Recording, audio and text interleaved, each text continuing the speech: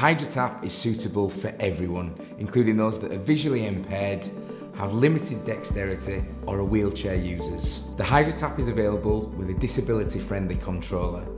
There are the options to have a push button control or a touch free sensor.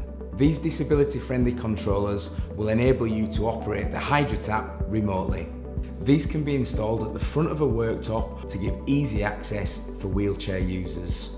Additionally, extended levers and braille covers can be attached to the HydroTap, enabling easy operation for those with limited dexterity or for the visually impaired.